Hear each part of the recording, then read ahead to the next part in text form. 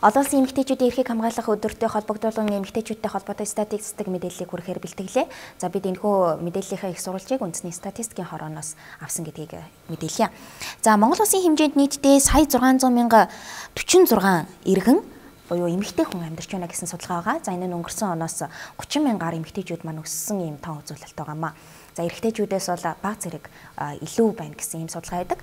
За эмэгтэйчүүдийн маань 69% нь нийслэл Улаанбаатар хотод амьдарч байгаа бол за 31% нь хөдөө орон нутагт амьдарч байна. Өөрөөр хэлэх юм бол нийт эмэгтэйчүүдийн дийлэнх нь нийслэл хотод ажиллаж амьдарч байна. За эмэгтэйчүүдийн дундаж наслалт ерөөхдөө өссөн үзүүлэлтэд өнгөрсөн жилүүтэй харьцуулах юм бол за нэг ойролцоогоор 3 насаар өссөн ийм үзүүлэлтэнд 76 настай эмэгтэйчүүд маань ерөөхдөө нас барж байна. За энэ эрэгтэйчүүдэд харьцуулах юм бол 10 насаар илүү наслалтгаа гэсэн тоогоо. За эмэгтэйчүүдийн маань гэрэлтийн наслалтаас харьцангуй бас нэмэгдсэн гэж үзүүлэлт гарч байгаа тодруулах юм бол 26 настай эмэгтэйчүүд маань дунджаар гэрэлж байна.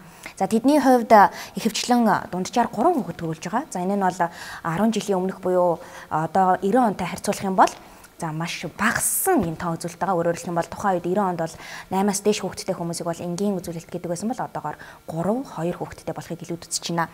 За харин энэ нэг сонирхолтой статистик байгаа. Тодруулах юм бол Монгол эмэгтэйчүүдийн дундаж өндрийг харуулсан юм статистик байна.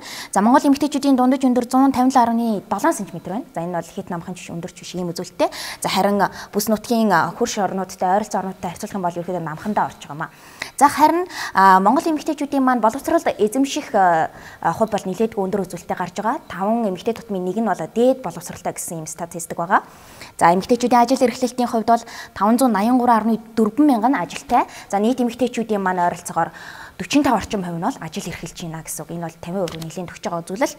За эмэгтэйчүүдийн орлогын хувьд бол 910.1 мянган төгрөгтэй тэнцэж байна. За энэ нь эрэгтэйчүүдээс бага зэрэг бага гэхдээ зарим нэг эмэгтэйчүүд бас илүү өндөр орлого олж явах чинь магадлал бол байгаа гэж үзэж байна. За эмэгтэйчүүдийн сүүлийн үед улс төрд оролцох оролцоо бол нэлээдгүй нэмэгдсэн. Тодруулах юм бол эмэгтэйчүүдийн 54% нь сонгуульд идэвхтэй оролцдог болсон байгаа.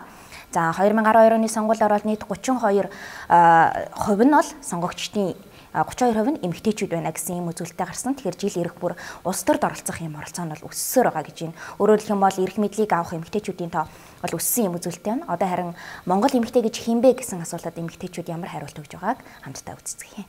Тэгээ Монгол эмэгтэй хүн гэдэг чинь үнэн чудраг бас ноён нуруутай гэр орон үр хүүхэд бүх юм л одоо зохицуулж л амьдрал штэ тийм ээ Тийм учраас Монгол ээжийн сайн сайхан чанар Монгол эмэгтэйчүүд их байдаг байхал гэж боддог шүү дээ. Монгол ээжүүд маань бол ер нь өстой их орныхон төлөө одоо өр хөвгтүүдэн сайхан өсгөж хүмүүжүүлж их орондоо ихийг бүтээж одоо Монгол их хүний одоо ёстой нэг сайхан жан чанарыг л одоо бүгдээрээ эзэмшиж одоо тэгээд өр хүүхдүүд минь сайн сайхан л яваас байна. Одоо Монголын одоо бүх эмэгтэйчүүд маань одоо өр хүүхдүүдийн төлөө одоо ёстой бүгд л адилхан сайхан нинжин сэтгэлээр ханддаг байхаа гэж боддөг юм аа амин. Миний хувьд одоо Монгол эмэгтэй хүнийг одоо өөрийнхөө сайхан ээжээр төсөөлж боддог. За одоо эр хүнээ одоо одоо гэрийнхээ ноён нуруу болсон эр хүнээ одоо тулах багна нь одоо толох түшгэн гэж боддог. Хүний үүрэг гэдэг бол маш их хүндтэй сайхан гэж боддог.